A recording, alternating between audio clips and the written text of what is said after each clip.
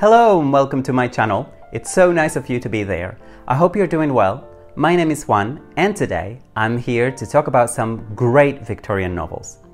I have chosen a total of nine books that I think represent Victorian literature in all its possibilities. Now, I like some of these novels better than others, but I wanted to make my choice as wide as possible so all of you can find something that will appeal to you, your taste, and your personal interests. But before I go into the 10 books that I have selected for you today, I wanted to say a word about the books that I have not included. So last week I made a video with my recommendations for autumn and I included a handful of Victorian novels uh, in those recommendations. Perhaps I should plan my videos a bit better, but regardless, uh, because I don't want to repeat myself by talking about books that I discussed only last week, I have been forced to exclude the following novels from this video. Jane Eyre, Wuthering Heights, Frankenstein, and The Picture of Dorian Gray. All those four novels are great Victorian novels and they are among my favorites. And if you want to know why I recommend them, all you need to do is check out my autumn recommendations and I'm linking to that up here somewhere. But I won't talk about those four books today. Okay, now that I got that out of the way, let's talk about Victorian literature. But before I go into the books themselves, and why I recommend them, I think I must answer the following question. What do we mean by Victorian literature in the first place? The first thing to say about that is that some 19th century books uh, are not Victorian. So the Victorian era does not encompass the whole century, okay? Also, Victorian literature only refers to English literature, although some of the most famous writers were Scottish or Irish. But the term Victorian applies to Britain and its colonies since it was coined after the English monarch Queen Victoria. So Queen Victoria's reign covered most of the 19th century, but not the whole century. It covered exactly between 1837 to 1901. So Victorian literature refers to English or more widely British literature written during her reign, known as the Victorian era. It so happens that the period was one of uh, economic prosperity and uh, industrialization in Britain. So a time of fast and profound change too. And many works of Victorian literature reflect or comment on those socio-economic changes, and that's what makes them fascinating. But the Victorian era was also characterized by extremely conservative values uh, linked to Christianity. Victorian literature continues to be read to this day. There is still a fascination for that era that I sometimes find a little bit hard to understand, to be honest.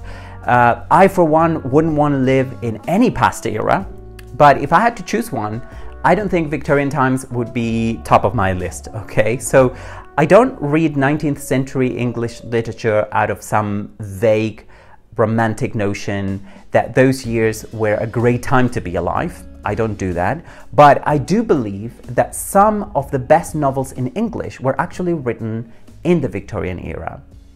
There are also many great Victorian novels, so many of them that it is hard to name just nine, so the list could go on and on, but it has to start somewhere. So let's start with Great Expectations by Charles Dickens. So many, if not all the novels I'm going to talk about today first came out in installments over several months. Uh, Great Expectations was first published between 1860 and 1861, so bang in the middle of the Victorian era. I think that Great Expe Expectations is my favorite novel um, by Dickens. And what is wonderful is that even though there are many, many movie and TV adaptations of this novel, I haven't seen any. And if I have, somehow I have managed to forget them all. So my memories of the story and this novel come from reading the actual book and are entirely fueled by my imagination.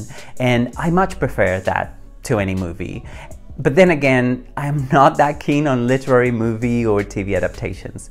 Uh, the books are always better, you know, that's a fact. But I digress. So, what is Great Expectations? Um, it is a coming of age story of one character named Pip who is extremely um, you know, he's an extremely poor orphan boy who grows up in Kent, which is an English county near London. You probably know that. Eventually, Pip moves to London thanks to the help he receives from an anonymous benefactor. Who that person is will remain a secret for much of the novel.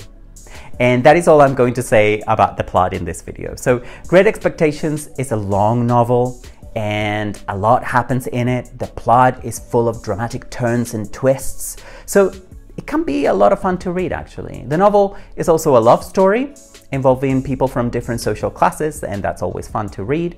Uh, Pip starts life at the bottom of the social stair or the social ladder, but he will do all he can to go up in life for love. But how possible was it to move up the social ladder in Victorian times? Will Pip ever become a true gentleman despite his very humbled origins? Life will teach the ambitious Pip many lessons in the course of this novel. So, if you want to take a look into how social classes worked in Victorian England while also reading a compelling story, then read Great Expectations.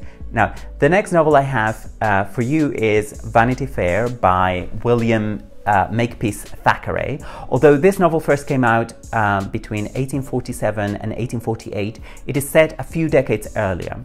Vanity Fair is set during the Napoleonic Wars that took place between 1803 and 1815 in Europe. So this is a Victorian novel set in the 19th century, but before the reign of Queen Victoria, okay? Vanity Fair is a sprawling narrative, but to me, the best thing about it is Becky Sharp, one of the main characters in the novel. Now, Becky Sharp is a social climber and an anti-heroine, an anti-heroine. She's not a character that readers are supposed to look up to at all, and yet it is impossible to read Vanity Fair and not like Becky Sharp. I feel like it must be a lot easier for most writers to create a likable, sympathetic character, but I do admire anyone who could write a despicable character like Becky Sharp and make readers like her. And I think that's the best thing about Vanity Fair, if I'm honest. But, you know, some people like Victorian literature because of its gothic, scary stories. So I have a couple of uh, great suggestions for that. Now, the first one of which is Dracula by Bram Stoker, the famous novel from 1897 that brought us Count Dracula. Dracula is a classic because, like all classics, it still speaks to us. What you have in this novel is a foreign force represented by Count Dracula that comes to England. This is an English novel and tries to destroy English society. So we are dealing here with a foreign threat, in this case coming from Eastern Europe. The main characters in this novel need to stop Dracula to save England. So I think, you know, this is a nationalistic novel in a way. Now, Count Dracula must be destroyed to preserve the nation. The stakes are high because Count Dracula has the power to turn good old English people into vampires like himself. As indeed he does with poor Lucy, who was such a nice English rose before she was uh, bitten. Now, Dracula also deals with the conflicts arising from rapid industrialization. Victorian London is a modern city where people have abandoned their traditional beliefs and superstitions. But perhaps they have forgotten what links them to the past far too quickly. And the presence of Count Dracula will force them to re-establish at least some of those links with the past. But Dracula is a lot more than that. And it is impossible to talk about this novel without going into uh, what it has to say about female sexuality. First of all, the female characters in this novel, mostly Mina and Lucy, are flat. They come across more like a male fantasy rather than as real women. They also represent that Victorian uh, female ideal. Victorian values, uh, you know, were very strict when it came to gender and sexuality. There was this notion of purity that women had to preserve, you know. So for women, sex was reserved for marriage and with the sole purpose of reproduction. So, you know, sex before or outside marriage, or God forbid, sex between women was out of the question. The fact is that Victorians feared uh, female sexuality. there are clear remnants of that still now, unfortunately, but things were a lot worse in the 19th century for women. So when Lucy becomes a vampire in the novel and she also becomes sexually active, that behavior is not only deemed unacceptable, but it is one of the main reasons she must be destroyed. And of course, religion. Specifically, Christianity plays a central role in this novel. England is a Christian nation, and religion was a lot more important to Victorians than it is uh, to many of us now. Okay, another horror story from that time is uh, The Strange Case of Dr. Jekyll and Mr. Hyde by the Scottish writer Robert Louis Stevenson. Dr. Jekyll and Mr. Hyde was first published in January 1886, and it is another novel that deals with some of the fears that Victorians had, which maybe, at least to some extent, our fears now. Now, this novel is mainly about human duality. Um, Stevenson is interested in exploring what he sees as two aspects of human identity one mostly good, and the other one evil. Of course, he takes this to extremes by, by making Mr. Hyde a murderer, but that's also what makes this uh, novel fun to read, as long as you are into horror, of course. But if you prefer mystery, then your Victorian writer should be Wilkie Collins.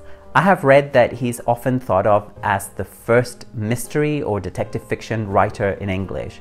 His novel, The Woman in White, was a huge success in the 19th century.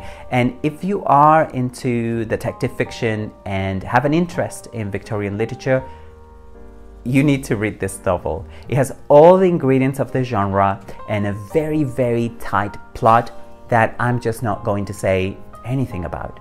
Now, The Woman in White was originally published in installments, once again, in this case between 1859 and, 50, and 60, 59 and 60, in a magazine named All Year Round, which was owned and run by Charles Dickens. If you're someone who reads novels mainly for their plot and wants to be mesmerized by a mystery taking place in the 19th century, this is the novel for you then. And if you like The Woman in White, then you should go on to read The Moonstone by the same author. The title refers to a yellow diamond uh, that is sacred to the Hindus. A general of the British Army steals the diamond and takes it to England. Many years later, the general's niece gets the diamond on her 18th birthday, but later on that very same day, the diamond is stolen, and thus begins one of the finest detective novels ever written, according to many people. But now let's change gears and talk about less sensationalist books, okay? One of my favorite Victorian novels is North and South by Elizabeth Gaskell. This novel was first published in 1854 and it deals head on with industrialization and the English cultural divide between North and South. Now, the novel uh, North and South is set mainly in the north of England in a fictional city named Milton that clearly stands for the real city of Manchester. It is telling that the protagonist Margaret Hale is a southerner who is horrified by the effects of the Industrial Revolution in the north. At that time, parts of the north of England were a lot more industrialized than the south. The author, Gaskell, paints the north of England in a very negative light. It is smoky and dirty, and that contrasts with the idyllic rural south. So the novel deal, deals with those um, cultural differences between the north and south that were brought on uh, with the advent of the Industrial Revolution, but not only. I lived in the south of England for many, many years, and every time I went north to places like Manchester or Leeds or even to Birmingham, which isn't even in the north, it's in the Midlands, I would feel like I was visiting almost another country. So there are still noticeable cultural differences between the north and the south of England. Now, many differences, many of those differences, no doubt, preceded the Industrial Revolution. They're probably older, but it's interesting to see Gaskell's vision on the whole situation at her very specific time. North and South is also an example of the social novel, and uh, a more famous uh, example of that is probably Hard Times by Charles Dickens, which I think more people read. But what is interesting about North and South is how its protagonist, Margaret, who isn't very nice at the beginning, evolves. You know, she learns to appreciate the North and even grows sympathetic to the people she meets there. There is also, of course, something about social class here because while most northern people she meets are uh, working class, Margaret herself is middle class.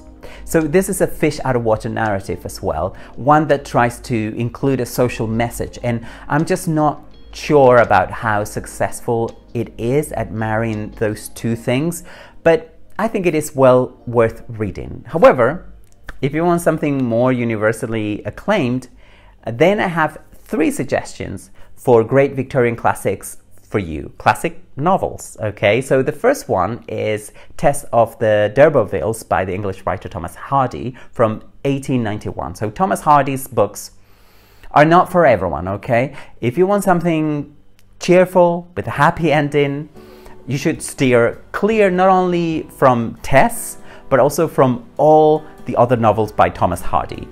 Hardy is probably the most pessimistic writer in English.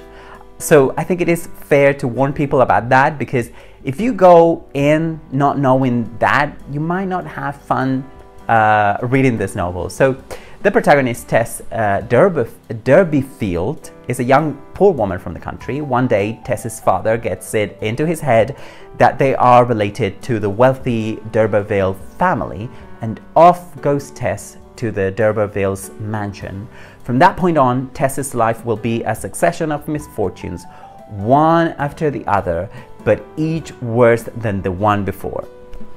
So I am tempted to say that Tess of the D'Urbervilles is misery porn, but of course it is better than that. I think this novel explores many interesting themes actually. There is definitely a feminist reading of this novel because Tess's many misfortunes are one way or another the result of men's domination that ran rampant in Victorian society.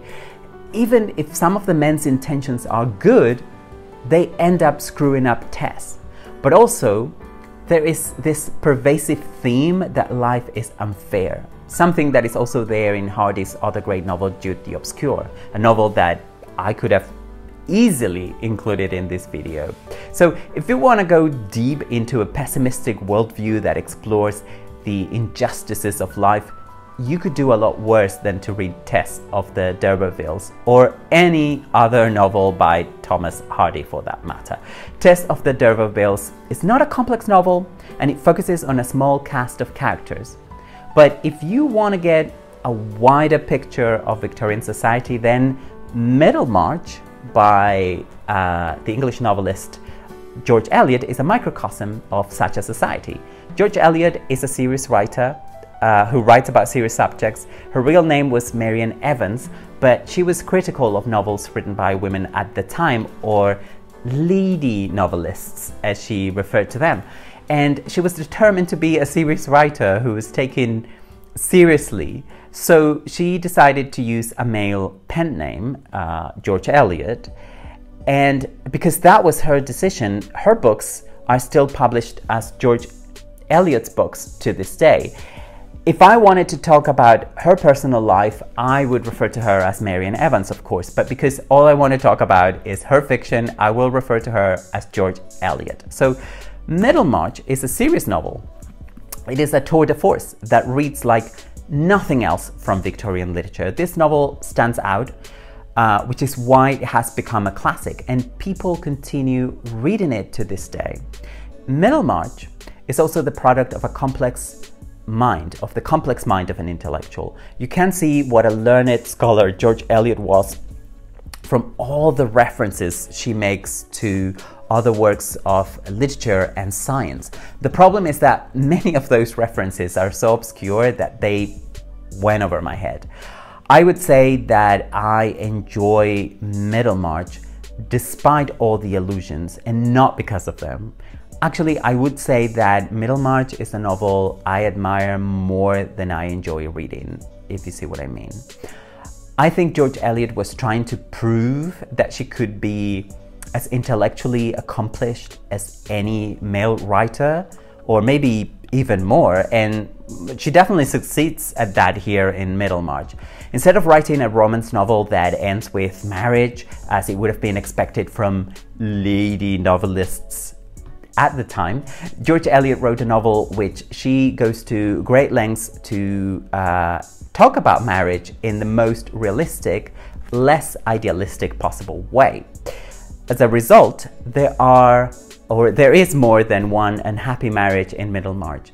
In this novel, many characters make wrong choices, not only when it comes to love and marriage, but also when it comes to work and their careers.